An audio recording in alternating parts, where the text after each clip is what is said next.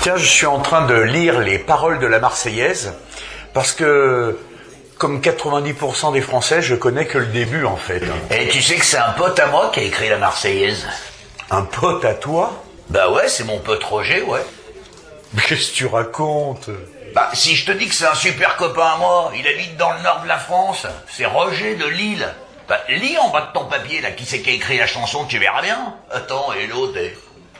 à, à la tienne. Ah tienne. Attends, moi aussi je connais des gens du show business. Je te rappelle quand même que j'ai habité trois ans dans le même immeuble que Plastique Bertrand quand il était ado.